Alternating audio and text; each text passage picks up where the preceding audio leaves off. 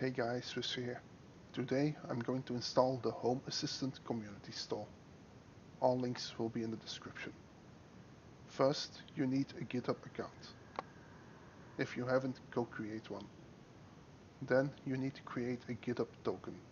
Go to the token site, generate new token, call it HACS, scroll down, generate token. I will be deleting this one, so go create your own. Don't copy mine, it won't work. Download the release of HACS by clicking hacs.zip and open it in your archive manager. Using the Samba add-on, press Windows key R, put backslash backslash and the IP address of your Home Assistant server and OK.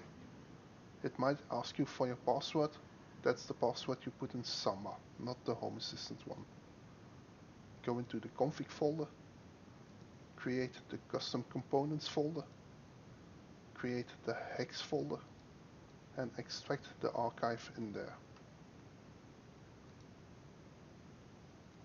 Once that's done, go into Home Assistant, go to Configuration, Server Controls, you might need advanced mode for this, and restart your Home Assistant server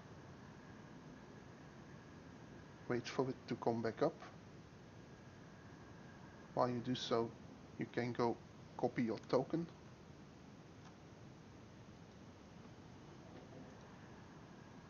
In Home Assistant, go back to Configuration, go to Integrations and click on the plus button.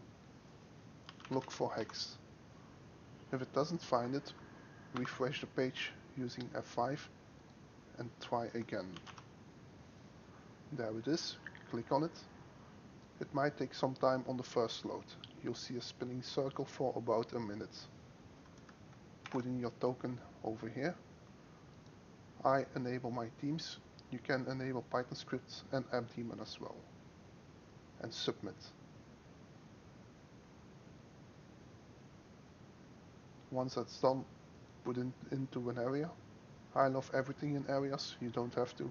Since it's a system-based thing, I'll put it in system and finish. On the left side you have HACS. If you click on it, you'll see a small tutorial. Go through it so you learn how to use HACS. Enjoy!